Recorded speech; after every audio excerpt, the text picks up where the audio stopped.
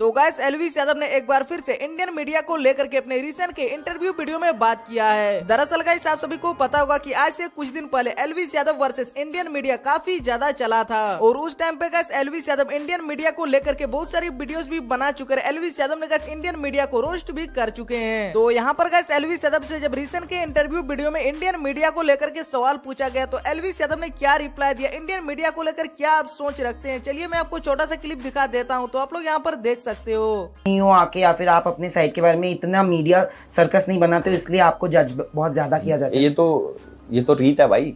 अपनी जो Indian media है वो तो एक साइड का दिखाती है वैसे अगर दूसरी साइड का बोल भी दो बट मैं बताता हूँ। अगर सपोज़ कुछ हुआ हमारी जो इंडियन ऑडियंस है ना काफ़ी इमोशनल है। वो उसको कुछ चीज़ सुनने में आ जाती है वो उस हिसाब से चल देती है।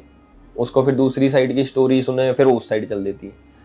तो ये हमारा कसूर नहीं है हमारी जनता ही ऐसी है। थोड़ी इमोशनल है थोड़ी एक वर्ड बोलना चाहूँगा मैं। थोड़ी दिमाग नहीं चला थोड़ी कम बुद्धि